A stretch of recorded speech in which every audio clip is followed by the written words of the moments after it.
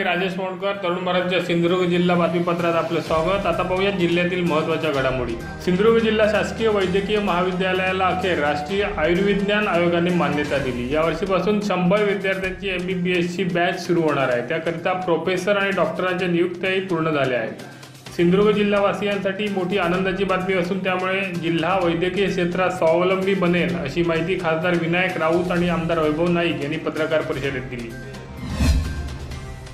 दोडामार तालुक्यातील तिलारी धरण क्षेत्र परिसरात तेथील नैसर्गिक साक- साधनसंपत्तीचा उपयोग करून आशिया खंडातील सर्वात मोठा अम्युजमेंट पार्क उभा राहू शकतो अशी माहिती सिस्टुला ट्युलिप कंपनीचे अध्यक्ष माईक बेरी यांनी दिली. आमदार दीपक केसरकर यांच्या समवेत बेरी यांनी तिलारी धरण क्षेत्रात या नियोजित पार्कची पाहणी केली. त्यावेळी त्यांनी ही माहिती दिली. या पार्कमुळे सुमारे तीन लाख रोजगार उपलब्ध होणार असल्याचे बेरी यांनी सांगितले. सावंतवाडी मोती तलावात उडी टाकून शहरातील उभाबाजार येथील प्रवीण कमलाकांत केसरकर या पंचेचाळीस वर्षीय तरुणाने आत्महत्या केली. ही घटना सोमवारी दुपारी एक वाजण्याच्या सुमारास घडली. सायंकाळी पावणे पाच वाजण्याच्या सुमारास सांगेली येथील बाबल आल्मेडा टीमने मृतदेह शोधण्यात यश आले.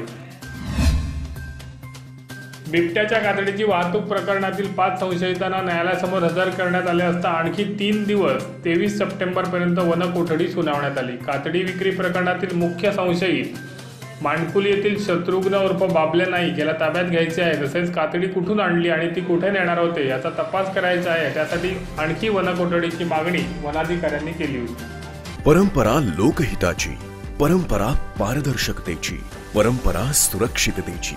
गेल्या पंचवीस वर्षांपासून विश्वास जपणारी विविध सेवांद्वारे ग्राहक हित जोपासणारी परंपरा लोकमान्याची जी ठरते सहकार क्षेत्राचा मानबिंदू आणि आपल्यासाठी आपले विश्वासू लोकमान्य. खारेपाटण तालुका निर्मितीच्या प्रस्तावाला नव्याने चालना मिळावी यासाठी खारेपाटण तालुका निर्मिती कृती समितीच्या वतीने तहसीलदार रमेश पवार यांची भेट घेण्यात आली. यावेळी समितीचे अध्यक्ष रमाकांत राऊत सामाजिक कार्यकर्ते मंगेश गुरव गोट्या कोळसुलकर योगेश गोडवे संतोष पाटणकर महेंद्र गुरव योगेश पाटणकर उपस्थित होते. मालवण तालुक्यातील मालवण गावठणवाडी येथून बेपत्ता झालेल्या नारायण महादेव पारकर या वृद्धाचा मृतदेह रविवारी सायंकाळच्या सुमारास तोंडवळी सुरू बनात सापडला.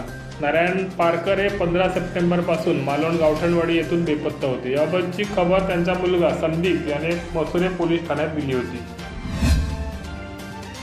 जिल्ह्यात सोमवारी आणखी पंचेचाळीस व्यक्तींचा कोरोना तपासणी अहवाल पॉझिटिव्ह आला तर दोघांचा मृत्यू झाल्याची माहिती प्रभारी जिल्हा शल्यचिकित्सक डॉक्टर श्रीपाद पाटील यांनी दिली. जिल्ह्यात दुपारी बारा वाजेपर्यंत एकूण अठ्ठेचाळीस हजार सातशे चोवीस कोरोनाबाधित रुग्ण बरे होऊन घरी परतले. सद्यस्थितीत जिल्ह्यात एक हजार तीनशे चौतीस रुग्णांवर उपचार सुरू आहे अधिक माहिती आणि ताज्या घडामोडींसाठी पाहत राहा Tarun Bharat news channel. Like करा शेअर करा आणि सबस्क्राईब करा. ताज्या घडामोडींसाठी दररोज सकाळी वाचा दैनिक तरुण भारत. शुभरात्री.